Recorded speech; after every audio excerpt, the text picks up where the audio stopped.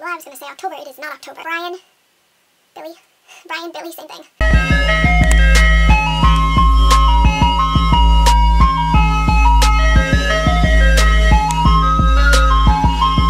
Hey guys, it's Jay and today I am here with my most anticipated November reads for 2017. I have a total of six this time and as always I tried to pick ones that aren't super duper popular so hopefully you guys find something that's not on the typical radar. There is one that is a little bit popular, okay a lot popular, but is by one of my favorite authors so like I have to mention it. So without further ado, let us get started.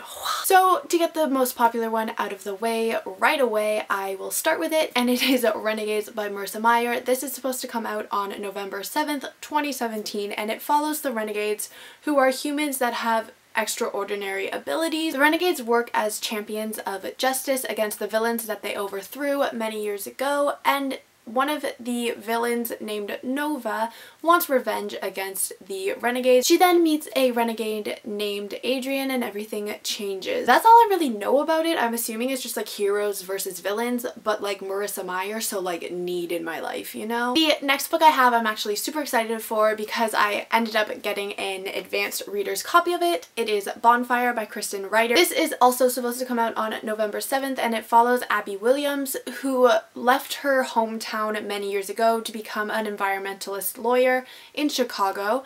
She ends up taking a case in her hometown and she begins to find some strange connections between her case and a scandal that occurred involving her friend Casey before she disappeared many years ago. So as Abby tries to uncover what actually happened in this case and why these weird connections are happening, she discovers a ritual called the game and that's all the back of the book really says so I'm intrigued to see what it's about. It seems like it could be super cool and also like the author plays Jessica Jones, so like I'm down for it. The next book I have is called Fragments of the Lost and this is by Megan Miranda and it is supposed to come out November 14th, 2017. The book follows Jessa whose boyfriend died in a terrible accident and his mother asks her to pack up all of his belongings for her because she just can't bring herself to do it.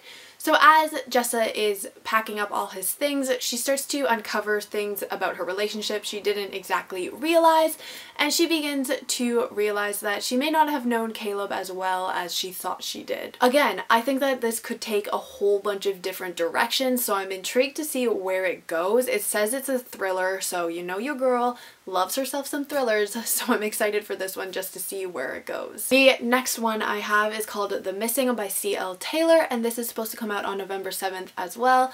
And the little blurb said that it's for fans of Reconstructing Amelia, which is one of my favorite adult thrillers, so I am uh, pretty much looking forward to it just because of that. And it also says that it's an unreliable narrator, which I love, so excited for that as well. It is about a 15 year old boy named Billy who just went missing and his mom has to start uncovering a lot of secrets that her family is keeping in order to find her son. So, again, one of those books that could be super interesting depending on what way it takes. So I'm intrigued by that and also reconstructing Amelia. So like need it in my life. The next book I have is called The House and it is by Simon Lelic and it is supposed to come out on November 2nd, 2017 and it follows Jack and Sid who just bought their dream house and then they discover something in the attic but they choose to ignore it which turns out to be a huge mistake because somebody was just murdered outside of their house and now the police are watching them. So again,